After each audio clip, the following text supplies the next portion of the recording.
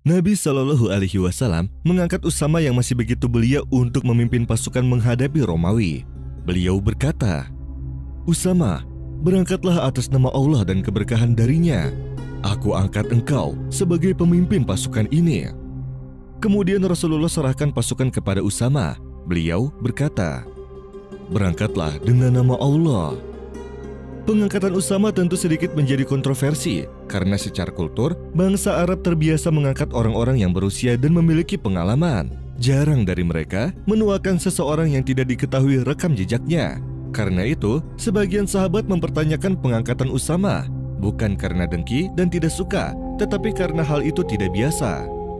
Mengetahui penolakan tersebut, Rasulullah Shallallahu Alaihi Wasallam menunjukkan ekspresi ketidaksukaan. Beliau keluar dari rumahnya kemudian naik ke mimbar. Beliau berpidato, Saudara-saudaraku sekalian, ucapan apa yang keluar dari kalian yang sampai padaku tentang penunjukan Usama bin Zaid?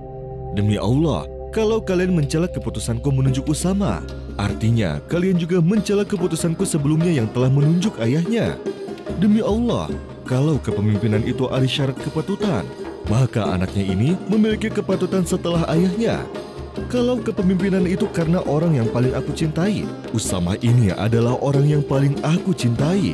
Dia dan ayahnya representasi dari setiap kebaikan. Aku wasiatkan kepada kalian agar berbuat baik kepadanya, karena dia termasuk orang terbaik di tengah kalian. Saat Usama tengah berada di pinggiran kota, utusan Ummu Aiman mendatanginya. Utusan itu mengabarkan bahwa Rasulullah Shallallahu Alaihi Wasallam wafat. Usama pun mengerahkan pasukannya kembali ke Madinah saat itu Umar, Abu Ubaidah bin Al-Jarrah berada di tengah pasukan. Mereka menatap jasad Rasulullah. Rasulullah wafat saat matahari di hari Senin 12 Robiul awal itu sudah bergeser dari tengah. Setelah Rasulullah wafat, Abu Bakar radhiyallahu anhu menggantikan beliau memimpin umat. Saat itu, banyak orang-orang Arab pinggiran yang murtad. Para tokoh sahabat datang menemui Abu Bakar. Mereka berkata, Wahai Khalifah Rasulullah, orang-orang Arab yaitu orang luar Madinah dari segala sisi, telah membatalkan perjanjian denganmu. Karena itu, jangan engkau buat pasukan ini terpisah-pisah ke berbagai daerah. Buatlah pasukan terkumpul di satu titik untuk menghadapi orang-orang murtad itu. Alasan lainnya, kalau pasukan keluar dari Madinah, maka Madinah tidak akan aman. Padahal di dalamnya ada anak-anak dan kaum wanita. Pertimbangkanlah untuk menunda menghadapi Romawi agar kita tidak dikalahkan oleh orang-orang sekitar kita sendiri. Setelah orang-orang murtad ini kembali atau ancaman pedang mereka hilang, barulah engkau kirim Usama. Saat itu baru kita hadapi ancaman Romawi. Namun Abu Bakar As-Siddiq tetap teguh untuk memberangkatkan pasukan Usama. Ia berkata, Demi Allah, seandainya ada hewan buas memangsaku di kota Madinah, aku tidak akan membatalkan keberangkatan pasukan ini. Berangkatlah pasukan Usama, dan pasukan ini berhasil menyelesaikan misinya dengan baik. Mereka kembali ke Madinah dengan membawa kemenangan. Kewibawaan Usama pun bertambah, meskipun ia masih sangat muda. Penunjukannya adalah sesuatu yang tepat. Ia benar-benar bisa diandalkan. Pengiriman pasukan ini ternyata memberi dampak besar terhadap kokohnya daulah Islamiyah di Madinah. Padahal setelah wafatnya Nabi, kondisi jazirah Arab goncang. Banyak kabilah yang murtad, mereka bersiap berbalik menyerang Madinah Ternyata pasukan yang keluarnya dikira akan melemahkan materi kaum muslimin di mata musuh, justru malah sebaliknya.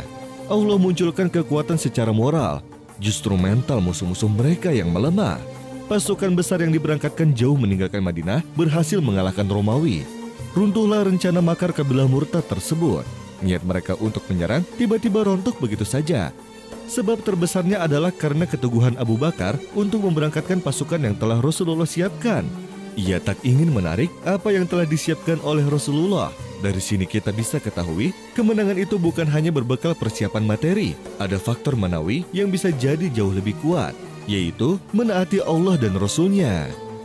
Usama bin Zaid adalah salah seorang sahabat yang mendapat bimbingan langsung dari rumah Nabawi. Rasulullah Shallallahu Alaihi Wasallam mendidiknya dan menumbuhkan jiwa kepemimpinan padanya. Hasilnya, di usia 15 tahun ia memimpin pasukan besar untuk menghadapi Romawi satu kerajaan kuat dengan pengalaman militer yang panjang.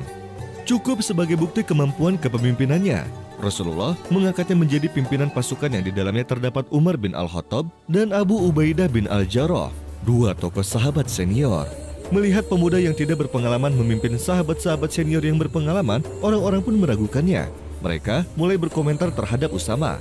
Namun Rasulullah justru membela. Dari Hisham bin Urwa, dari ayahnya, tatkala Umar bin Khattab menetapkan pembagian, ia menetapkan 5000 untuk Usama bin Zaid, sementara untuk ayahnya, Abdullah bin Umar, ia beri 2000. Abdullah bin Umar pun mengomentari, Engkau melebihkan Usama, padahal aku menghadiri peperangan yang tidak dia hadiri. Umar menjawab, Sesungguhnya Usama lebih dicintai oleh Rasulullah dari dirimu, dan ayahnya lebih dicintai Rasulullah dibanding ayahmu. Dari budaknya Usama bin Zaid, ia menceritakan bahwa ia pernah berangkat bersama Usama menuju Wadil Kuro. Mereka ke sana dalam rangka mengambil harta milik Usama. Katanya, Usama adalah seorang yang terbiasa puasa Senin dan Kamis. Budaknya berkata pada Usama, Mengapa engkau rutin berpuasa di hari Senin dan Kamis, padahal engkau sudah tua? Kemudian Usama pun menjawab, Sesungguhnya Nabi Allah terbiasa puasa di hari Senin dan Kamis. Beliau ditanya, mengapa melakukan itu? Kemudian beliau menjawab, Sesungguhnya amalan-amalanku diangkat pada hari Senin dan Kamis. Ketika terjadi fitnah di tengah para sahabat, Usama bin Zaid radhiyallahu anhu mengambil sikap untuk tidak ikut-ikutan dalam masalah tersebut. Ia tidak memihak kubu Ali, tidak juga kubu Muawiyah. Dan Usama wafat di akhir pemerintahan Muawiyah radhiyallahu anhu. Ia sempat tinggal di Al-Mizah, sebuah daerah yang terletak di barat Damaskus. Setelah itu, ia kembali ke Wadil Kuro dan tinggal di sana. Akhirnya, ia kembali ke Madinah dan wafat di kota suci tersebut. Usama bin Zaid, ia wafat pada tahun 54 Hijriah setelah menempuh hidup yang penuh dengan pengorbanan dan berjihad di jalan Allah.